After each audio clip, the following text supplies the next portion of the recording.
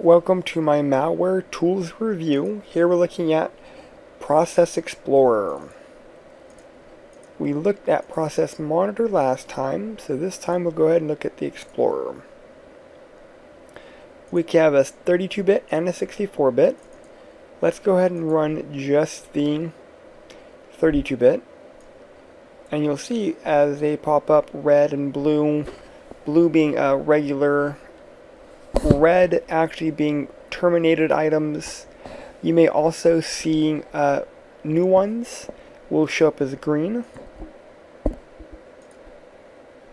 Calculator was green for a moment, then turned blue. But you can actually see the appropriate EXEs.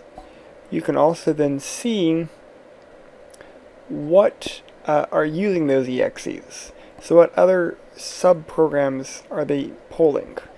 We're going to use this heavily in Chapter 3 as we start looking at dynamic malware analysis so we can actually look at running malware and then we can look at what additional executables are ran when we run our malware. Again, this is just a quick brief overview of Process Explorer. If you have any questions, please feel free to leave a comment. I'll try to answer them as quickly as I can. Thank you.